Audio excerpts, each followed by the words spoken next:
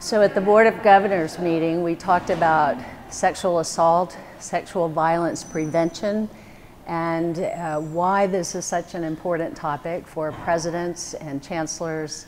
and the Board of Governors to uh,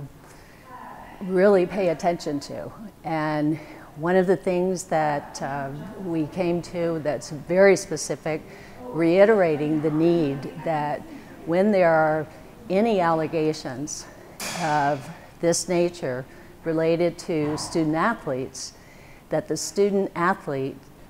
go through the exact same process of investigation that any other student, non-athlete, would go through on a university campus.